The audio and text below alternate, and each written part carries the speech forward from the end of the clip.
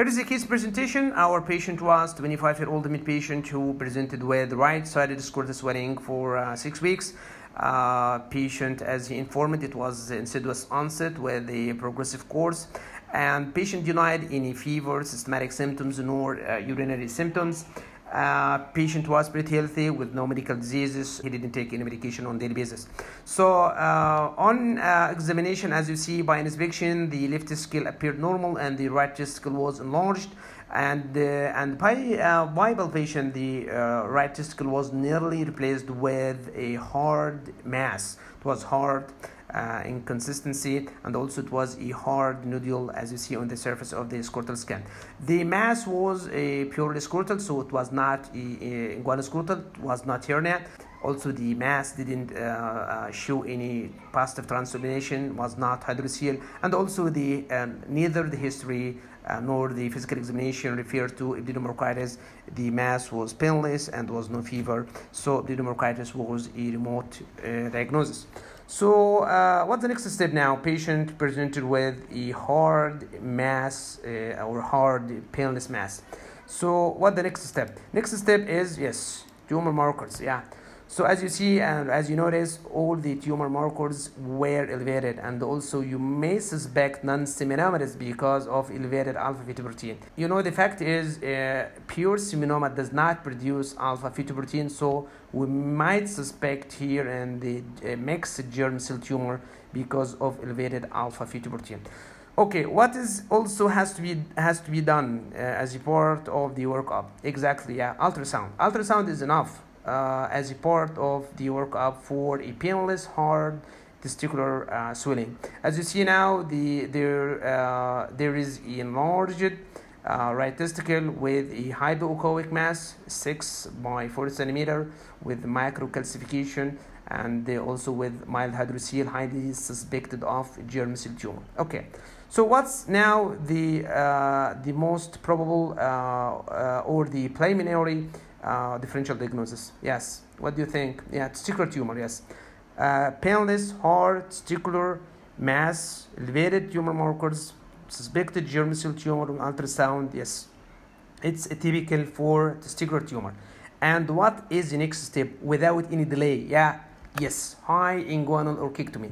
There is no need now to proceed for any metastatic workup. Go directly to high inguinal or orchiectomy and let's go now for a live demonstration for this surgery. Uh, after sterilization draping, now as you see now the right testicle is enlarged. Okay, uh, you can feel the superficial uh, inguinal ring just to determine the incision, but the incision is easy. It is uh, inguinal incision. We did it little here uh, transverse. It is like any inguinal uh, surgery parallel to the inguinal canal, but we preferred a transverse incision here. Um, yeah, cutting the skin and then the uh, superficial uh, fat, subcutaneous fat, uh, superficial fatty layer, and then coming up now the Scarpa's, the membranous layer, as you know.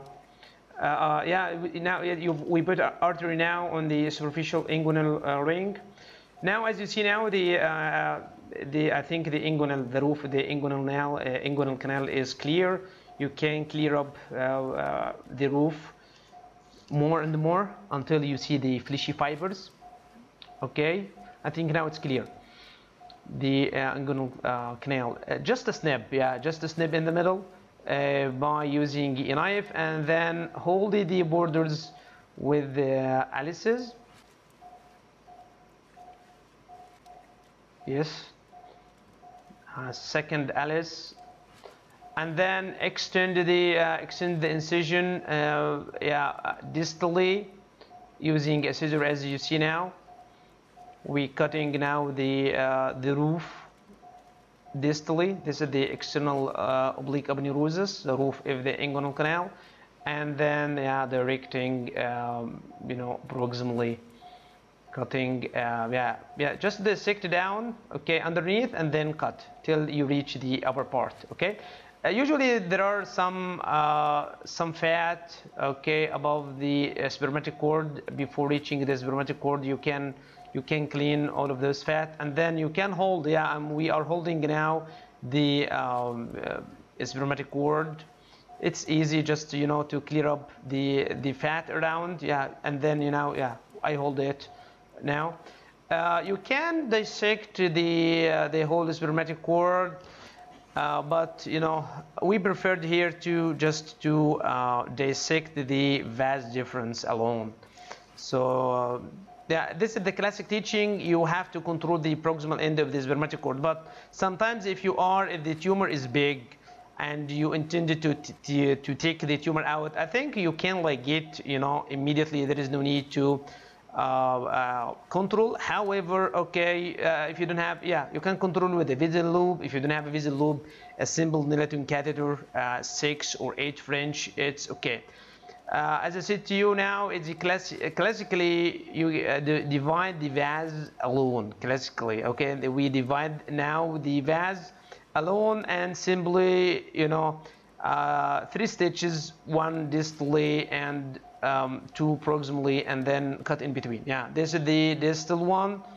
Uh,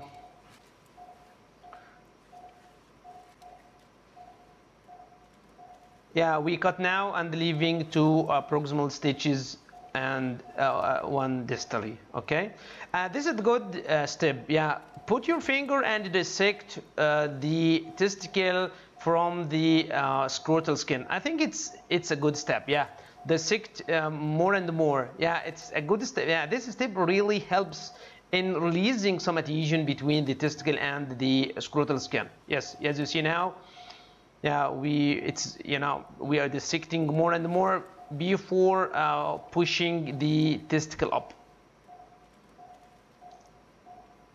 Yeah push now yeah we pushed the the whole testicle up now.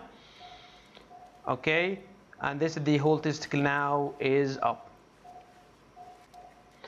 Okay, the second step now releasing the uh, gubernaculum, yeah, the adhesion or the attachment between the testicle and the scrotal skin. Use uh, you, uh, both blunt and sharp dissection. Uh, take care of skin, take care of the scrotal skin. It's easily to be injured in this step.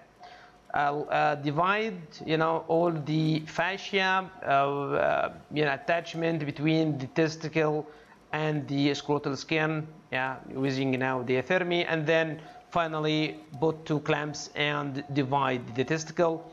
And also you can take a stitch, take, a, yeah, take care again, yeah, pay attention of the skin. You, you can take the skin with you easily. Okay, now, yeah, and after you finish, yeah, make sure that you didn't take the skin. If you if you took it, it will be like um, uh, like a nib inside in the skin. It appears in the in the skin.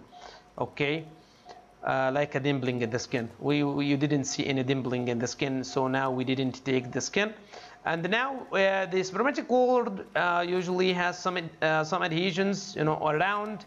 Uh, don't cut it unless you um, cut all the adhesions. These are the adhesions down uh, simply about uh, two clamps and you know divide use, uh, using a diathermy or a colliery okay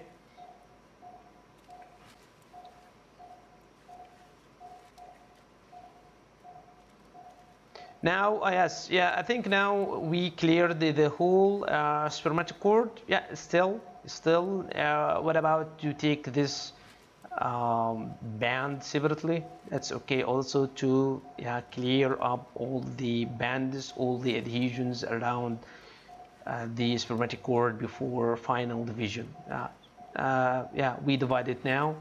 So now I think now it's the time the site of the deep inguinal ring it's easy to be identified.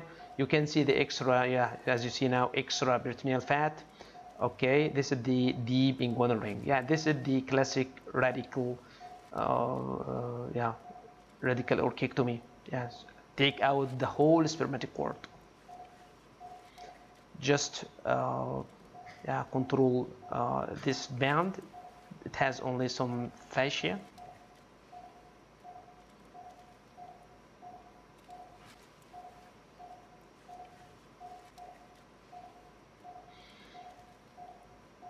we done now? I think now we can yeah. So we can now control the yeah yes okay. Yeah we put now a clamp down to uh, this uh, catheter to take it, the catheter out. Uh, this is the first clamp. I think three clamps uh, are okay yeah. Two ligatures uh, proximally and one distally I think yeah quite enough yeah.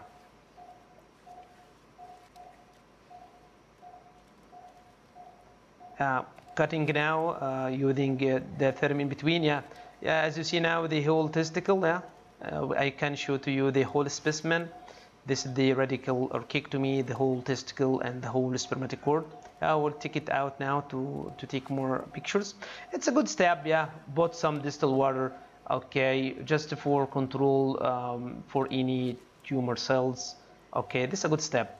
And also why not to change our gloves? Yeah we changed our uh, our gloves. Yeah this is yeah these principles of any of any cancer surgery. And we put a new drape. We put a new drape just to control any or to avoid uh, any mixing of the tumor cells with the new field uh, now those are the uh, proximal ends of the uh, the spermatic cord after it has been uh, cut or ligated okay. Yes now we ligated now.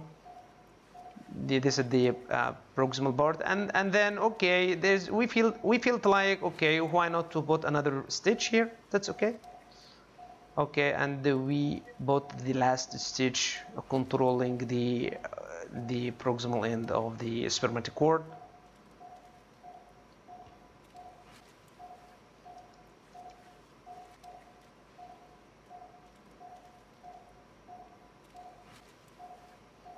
Okay now the closure and the, here is as you see now the external oblique and both Allises and we are going to do now like a simple uh, Bassini repair enforcement of the posterior wall this is the inguinal this is the roof uh, this is the floor sorry floor okay uh, of the inguinal canal and we as you see now are going to show to you that this is the yeah, reflected part of the inguinal ligament this is the reflected part. We are going to take this, the reflected part, uh, with the conjoint tendon, like a simple Bassini, as I said. We're starting the first uh, stitch now. Uh, why not to take it like inverted, just to uh, put the knot deeply in the in the wound. Okay. So this is the uh, Prolene now. It's a Prolene using for uh, reinforcement of the posterior wall of the inguinal canal, like as I said, a simple uh, Bassini repair.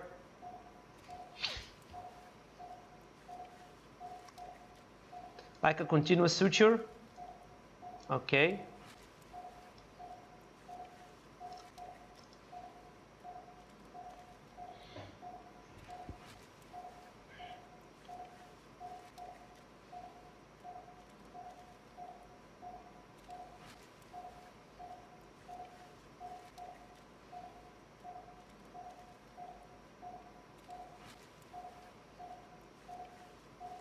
Uh, we can hang it okay and now we continue as I said like a simple uh, repair enforcement of the posterior wall of the inguinal canal reflected part of the inguinal ligament with the conjoint tendon using a Prolene suture.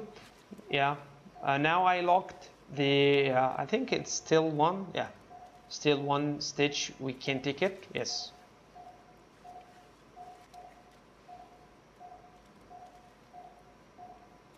is going to be the last stitch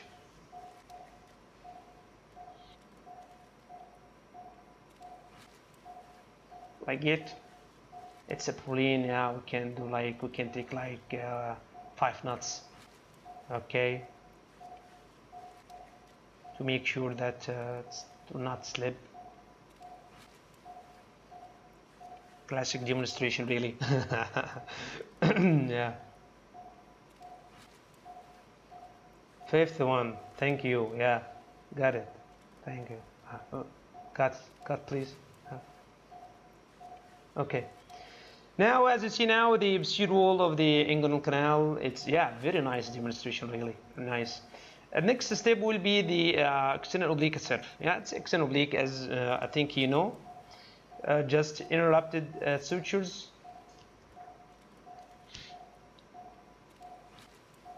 Interrupted suture for the uh, the external oblique aponeurosis.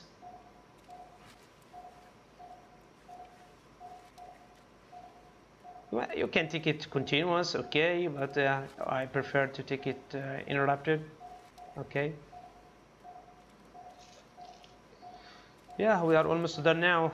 Just uh, and then this uh, subcutaneous fat and the skin. Uh, here is the final specimen after it was removed. As you see, the right testicle was removed en bloc with the covering tunica vaginalis together with the whole spermatic cord till the level of the inguinal ring. Uh, do you remember this uh, hard nodule? Yes, this is from the, as you remember from the physical examination. Yes, this is the nodule that you saw on the physical exam. Uh, here is the uh, final histopathological examination, microscopic pictures, typical picture of mixed uh, germ cell tumor, areas of uh, cartilage, glands. This is the pale color of uh, carcinoma, and this is the good slide combining both uh, teratoma with the, which is dark color and the embryonal carcinoma with uh, pale color.